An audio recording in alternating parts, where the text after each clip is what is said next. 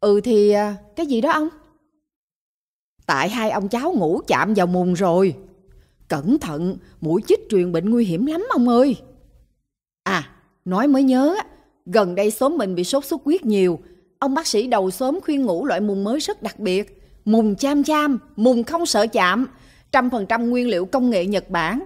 Chạm chạm có tính năng rất độc đáo, tự động xua đuổi, liên tục hạ gục mũi nên mũi tránh xa mùng. Cham cham đã được Bộ Y tế chứng nhận lưu hành sản phẩm. Còn nữa nha, cham cham không chỉ là chiếc mùng xua đuổi mũi dỗ yên giấc ngủ ngon. Nếu treo ban ngày thì cham cham sẽ là một sản phẩm không khói, không khí độc, tự động xua đuổi, liên tục hạ gục mũi 24 trên 24 giờ rất hữu ích, giúp cho căn phòng sạch bóng mũi mồng rận rệp. Cham cham còn có cả loại mùng dành cho giỏng nữa, tiện lợi lắm nha ông.